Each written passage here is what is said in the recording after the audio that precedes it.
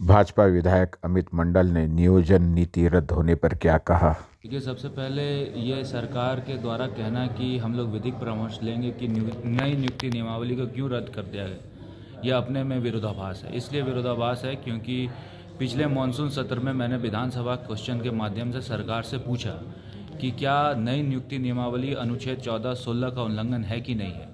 सरकार ने माना कि लॉ डिपार्टमेंट से उनको मंतव्य दिया गया है, लेकिन महाधिवक्ता की राय के बाद नई नियुक्ति नियमावली में हम लोगों ने संशोधन किया है। तो ये कह देना मात्र कि हम लोग विधिक परामर्श लेंगे, मुझे लगता है कि कहीं ना कहीं सरकार की नाकामी को दिखाता है।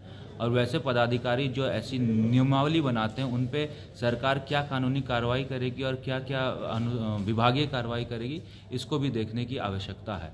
मुझे लगता है कि सरकार नौकरी देने की स्थिति में नहीं है और सरकार जानती है कि गलत नियमावली बनाएँगे तो कोर्ट में मामला जाएगा और जब कोर्ट में मामला जाएगा तो फिर सरकार के पास एक स्केप रूट होगा। इस बातों को हम लोगों ने एक साल पहले ही सरकार के संज्ञान में डाला था। सड़क पे भी कहा था और सदन के अंदर भी कहा था, लेकिन सरकार ने कुछ पॉजिटिव स्टेप नहीं लिया। जो ये ये ये दर्शाता है कि सरकार जानबूझकर गलती कर रही है।